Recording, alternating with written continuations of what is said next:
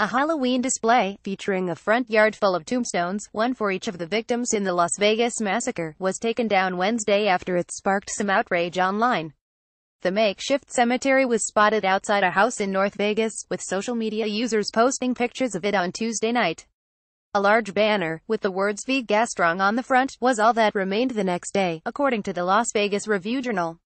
While some were quick to blast the homeowners for the ghoulish decorations, most people have been sympathetic, with many referring to the display as a tribute rather than a stunt.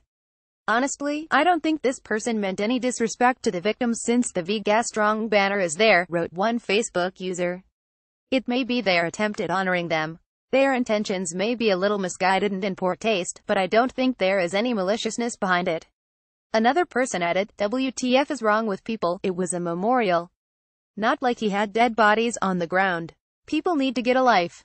The Review Journal could not reach the owners of the home on Wednesday, but neighbors told the newspaper that they likely had the best intentions. I drive past this every day and when they first put it up, it touched my heart, said longtime resident Guy Becknell.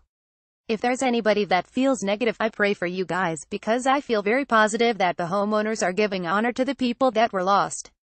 Some social media users, however, admitted Wednesday that they could see why some would find the Halloween display disturbing. He could have just left the 58 flags as a memorial with the sign that would be okay, explained one Facebook user. Pretty sure their heart was in the right place with memorial, but to me, headstones are pretty ghoulish, especially with Halloween right around the corner, another said. Memorial headstones kind of spilled over into the holiday.